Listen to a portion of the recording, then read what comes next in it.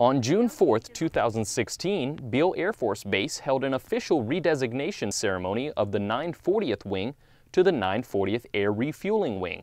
During the event, Colonel Craig C. Peters was introduced as the new commander.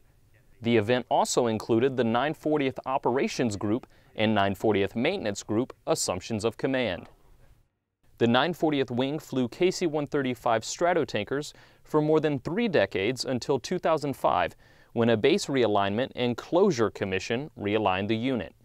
The last KC-135 left Beale in 2008. Uh, we're just very happy about this opportunity to bring the 135 back, kind of bring some history back to, uh, to Beale.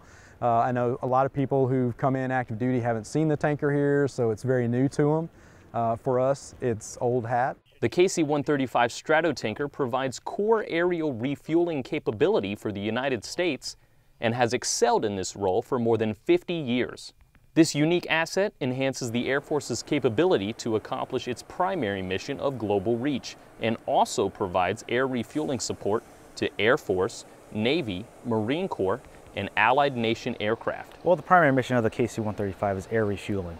So we're going to be air refueling various aircrafts, everything from heavies, KC-10s, C-17s down south at Travis, all the way to uh, F-15s from Klamath Falls, Vipers, F-35s, F-22s, everything we have, we can refuel. Bringing this mission and eight KC-135 aircraft back to Beale will not only increase personnel within the 940th by roughly 300 people, but will also expand Beale's contribution to the overall Air Force mission and local community. To have a unit that gets bracked, change missions, and then be coming back to be reestablished as an air refueling wing is a true testament to not only the strategic location of Beale, but to your ability to accomplish the mission. Reporting from Beale Air Force Base, California, I'm Airman Tommy Wilburn.